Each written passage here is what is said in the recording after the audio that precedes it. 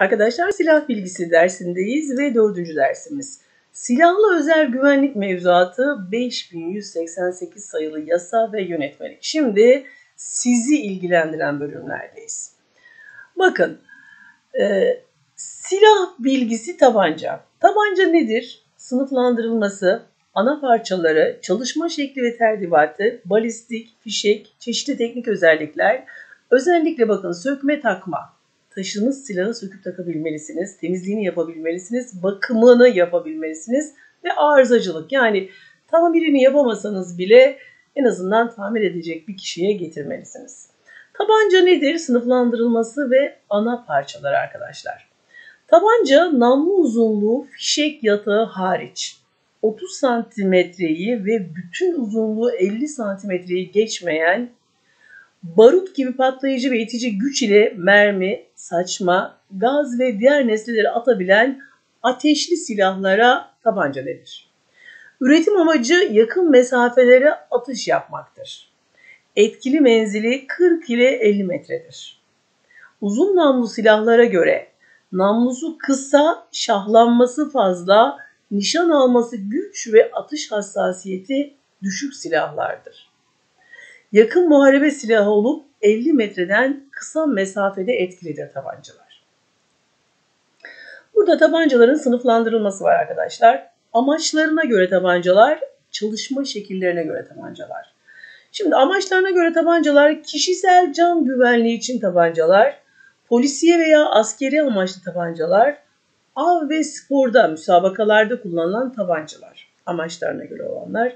Çalışma şekillerine göre olanlar tek atışlı tabancalar, otomatik tabancalar, toplu tabancalar, gaz tabancaları, işaret tabancaları, havalı tabancalar. Bu da çalışma şekillerine göre olan tabancalar. Kısa namlulu ateşli silahlar, tabancalar kısa namlulu ateşli silahlar grubunda meydana getirir ve dört bölüme ayrılır. Tek atışlı tabancalar birinci bölüm. Her atıştan sonra doldurulması gereken tabancalardır. Ağızdan sıkı olarak doldurulurlar. Bunlara kubur tabanca da denir ya da tek fişek atacak şekilde imal edilirler. Basit tipleri halk arasında da yapılmaktadır. Kalem tipindeki tabancalar da bu grup içerisine sokulabilir arkadaşlar. Bakın. Burada e, gördüğünüz birkaç örnek e, konmuş. Bunlar da öyle. Saat tabancalar. Ve model 2 step pen piston. Bakın bunlar hep e, tek atışlık tabancalara örnek kalem tabancalar. Ve toplu tabancalar.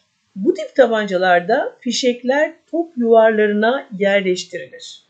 Fişek ateşleme çekici ucunda bulunan çıkıntı sivri uç tarafından ateşlenir. Yeni tip toplu tabancalarda fişek iğne tarafından ateşlenmektedir. Toplu tabancalar doldurma, ateşleme ve diğer yönlerinden farklı bir yapı gösterirler. Bakın toplu tabancalar toplu tek tek el ile doldurulan gaz geri tepmesinden istifade edilmeyen hava ile soğuyan yarım otomatik atış eden toplu bir el silahıdır. Silahın çalışması arkadaşlar toplu tabancalar tetik doğrudan doğruya çekilerek ateşlenebildiği gibi horoz geriye yatırılarak da kullanılabilir. Tetik çekildiğinde tespit pimi etrafında dönü olacağından tetiğin ön ve arka kısımları aşağı yukarı hareket eder. Tetiğin manivela görevi yapan arka çenesi yukarı e, kalkarken horoz ara parçasında yukarı kaldırır. Aynı anda toplu kilit mandalinası mandalındaki oyukta çalışan tetiğin ön çenesi kilit mandalını aşağıya iter ve toplu kilitli vaziyetten kurtarır. Yine aynı anda tetiğin arka üst kısmına bağlı olan top çevirme manivelası topu döndürerek namlunun hizasına getirir. Topludaki fişek namlu hizasına geldiğinde toplu kilit mandalı tetiğin ön çenesinden kurtularak topluya gider. Bu arada son haddine kadar kurulmuş olan horozun tulumba görevi yapan çentikli kısmı tetiğin manivalas görevini yapan çenesinden kurtulur. horoz sıkışan ana yayın e, etkisiyle hızla düşer ve üzerindeki iğne kapsülü ateşler. Bu arada geri tepme pistonu iyice sıkışmıştır. Parmak tetikten çekildiğinde geri tepme pistonu tetiğin yerine getirirken horozu da biraz geri iterek iğnenin hasar görmesini önler. Toplu tabancanın parçaları var arkadaşlar. E, top ve teferruat. Silahın sağ yanında tetiğin üstünde bulunan tespit vidası. Toplu ön yatak sapma, e, saplamasını tespit eder, sökülür. Top açma mandalı ileri sürülerek toplu sola açılır ve gövdeden teferruatla birlikte sökülür. İkincisi namlu ve gövde geriye kalan kısmıdır. Toplu tabancaların parçalanması budur arkadaşlar. Toplu tabanca parçalarını tek tek ele almışlar. Otomatik tabancalar arkadaşlar ilk dolduruşu atıcı tarafından yapılan tabancalardır. Tetik çekiminin ardından ateş eder.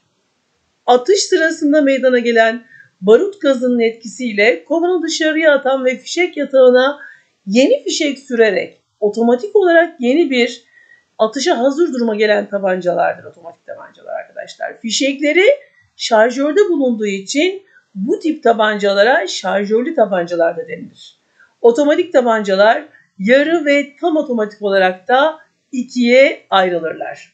Makinalı tabancalar bakın gördüğünüz gibi normal tabancalardan daha büyük ve şarjör kapasiteleri de daha fazladır. Hem yarı otomatik hem de tam otomatik ateş etmelerini sağlayan düzenekleri vardır. Tabancanın komple parçaları arkadaşlar kapak kompleksi, namlu kompleksi, icra yayı, icra mili, şarjör, gövde kompleksi. Arpacık, namlu, kapak, gez, horoz, emniyet mandalı, kapak yakalama mandalı, şarjör çıkarma mandalı, tetik, tetik korkuluğu, kapak kilidi mandalı ve arpacık.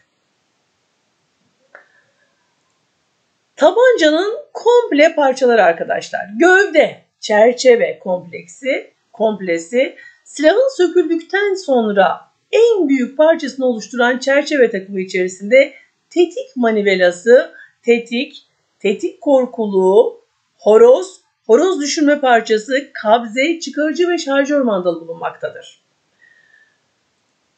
Tetik manivelası tetik ile horozun arasındaki irtibatı sağlayan parçaya denir. Tetik geriye doğru çekilmesiyle tetik manivelası sayesinde horozun kurulmasını ve düşmesini sağlayan parçaya denir. Tetik korkuluğu çerçeve üzerinde tetiği muhafaza altına alan metale denir arkadaşlar. Horoz kurulu vaziyette kurulup iğneye veya direkt kapsülü çarpmasıyla ateşlemeyi gerçekleştirilen parçaya denir.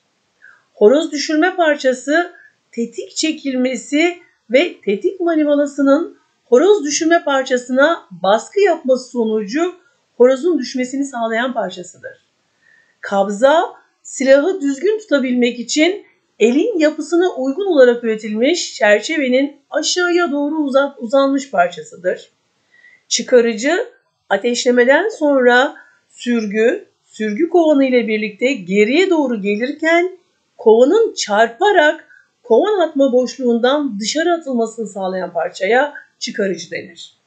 Şarjör mandalı, şarjörü silahta tutmayı yarayan mandala denir arkadaşlar. Kapak yani sürgü kompleksi komplesi ateşleme esnasında silahın hareketli parçasıdır. Sürgü takımı içerisinde gez, arpacık, kovan atma boşluğu, tırnak emniyet mandalı, iğne veya ve yayı bulunmaktadır. Gez, arpacık sürgünün üzerinde yer alan ve gez ve arpacık ateşleme esnasında atıcının daha rahat nişan almasını sağlar gez ve arpacık. Kovan atma boşluğu boş kovanın atıldığı yerdir. Tırnak silahın sağ tarafında bulunur arkadaşlar tırnak. Kovan dip tablasına takılarak atıştan sonra kovanın sürgüyle beraber geriye gelmesini sağlar. Emniyet mandalı silahın ana emiyetlerinden en güvenilir olanıdır. genelde sürgü üzerinde çift taraflı ve tek taraflı olarak bulunabilir. İğne ve yayı sürgünün gerisinde ve iç tarafında bulunur. Horozun düğmesiyle kovan dip tablasına çarparak fişeğin ateşlenmesini gerçekleştirir. İğne yayı ile horozun çarpması ile ileriye doğru giden iğnenin geri gelmesini sağlar. İcra yayı ve icra mili barut gazının etkisiyle geriye giden sürgünün tekrar yerine gelmesini sağlar. İcra mili icra yayının içerisinde bulunan pim ve ise sürgünün geri gelmesi esnasında sıkışan yayın sağa sola esneme yapmadan aynı hat üzerinde sıkışmasını sağlar. Ve namlu arkadaşlar bakın yiv ve setler de görünüyor. Namlu ateşleme esnasında çekirdeğe yön ve istikamet vermeye yarayan metal boruya denir. Namlu arkadaşlar ateşleme esnasında çekirdeğe yön ve istikamet vermeye yarayan metal boruya diyoruz. Fişek yatağı, destek, çekirdek yayı, kilitleme dişlileri, setler, yivler, namlu ağzı, rampa, dirsekli kurs veya çene. Rampa arkadaşlar fişeğin şarjörden fişek yatağına geçerken tırmandığı yerdir. Çap karşılıklı iki set arasındaki mesafeye çap denir. Çene, bilezik, dirsekli kurs diyoruz. Hareketli namlulu silahlarda bulunurlar. Silaha yüksek güç kazandırmak amacıyla konulmuştur. Fişek yatağı namlunun en gerisinde bulunan biraz daha geniş ve ataşa hazır fişeği işgal ettiği yer ediyoruz arkadaşlar. Biraz mola verelim. Tekrar devam edeceğiz. Hepiniz sevgiyle kalın. İyi çalışmalar.